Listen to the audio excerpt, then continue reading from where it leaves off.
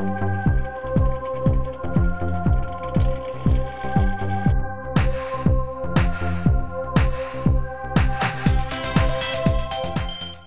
ever have one of those moments when you're all excited to do the next bit, namely gluing the head block and the tail block, and you remember that you've got a prerequisite step?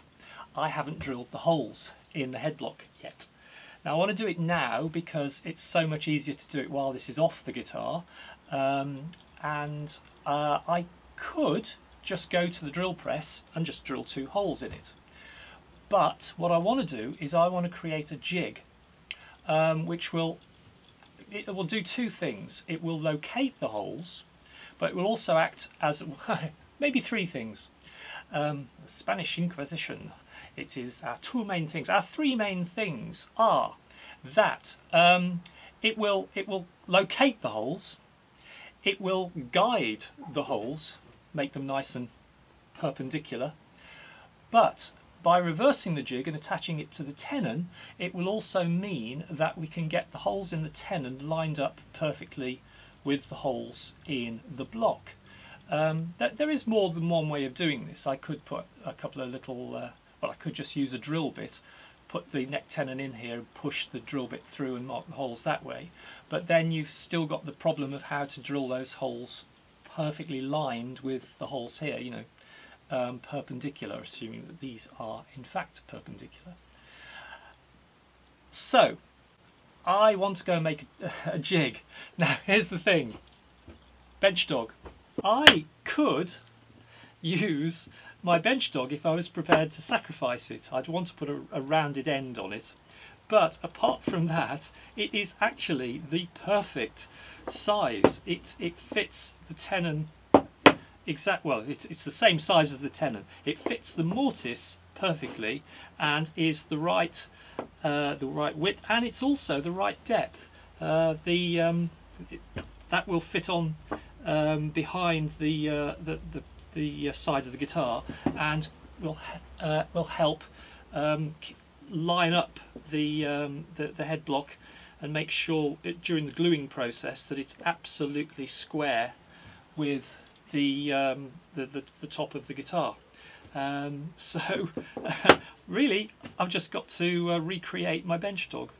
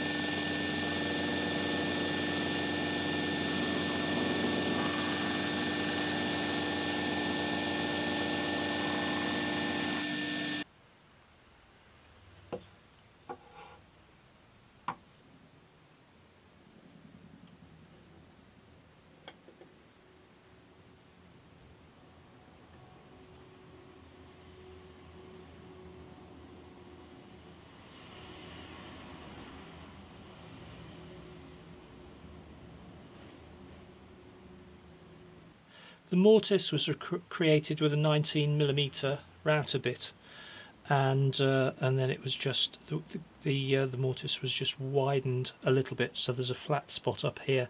Hence this isn't a continuous arc. It's two separate 19 millimeter arcs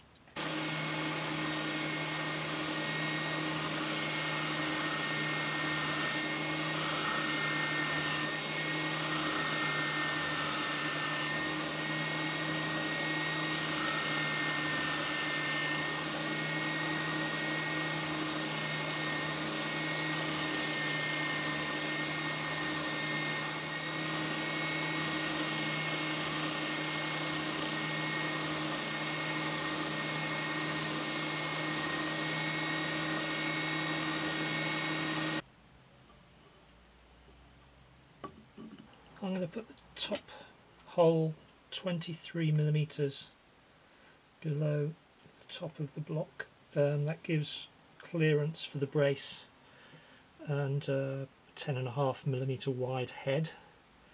I think the brace is 17 I think I noted somewhere. And I guess the next mark will be arbitrary but uh, let's just give it a sensible 30 millimeters difference.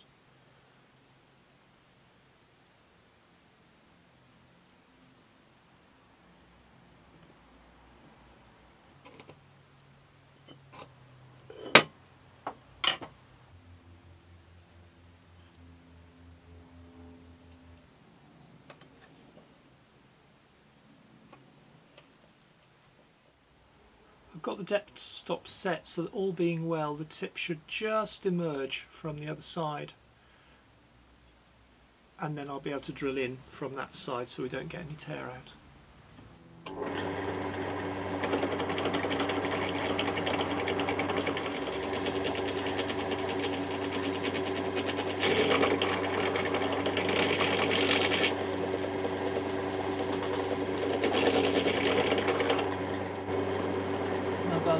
very slight hole be able to now line up.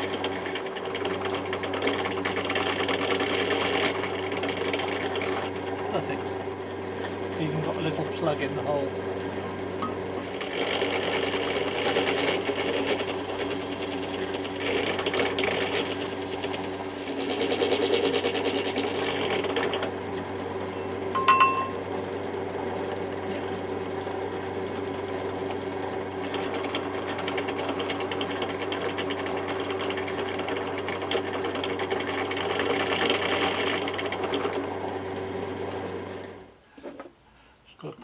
There we go. One, two.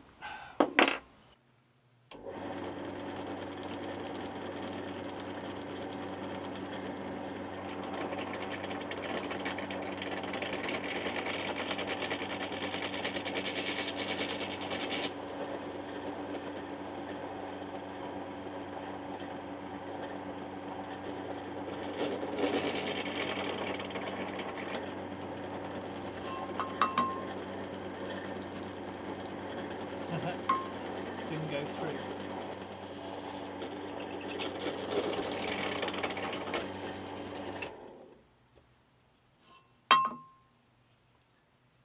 Now we have evidence of it going through. Now just going to lock this place in with a with a metal dowel so this won't shift and then do the next one.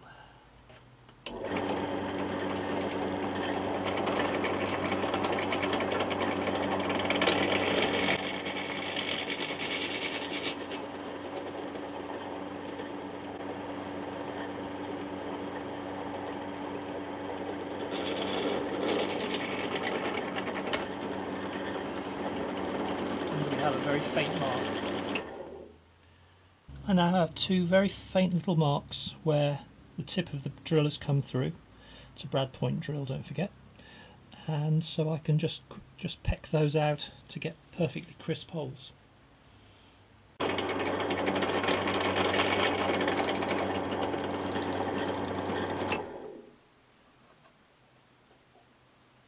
Oh, didn't mean to do that. Oh, I'll leave it in there.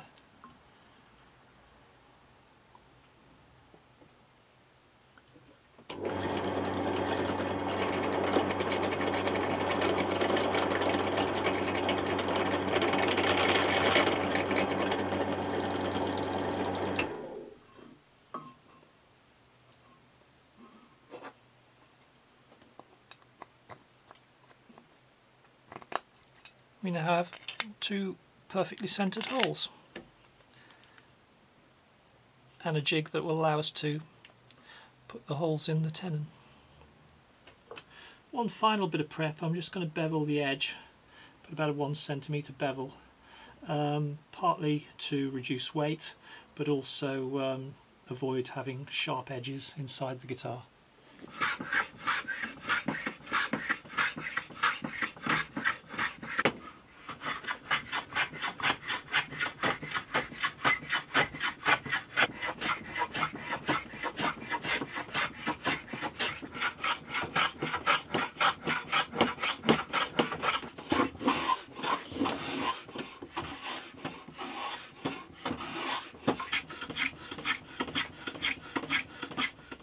Well, I'm a sweaty mess after all that planing and uh, a little bit of sanding.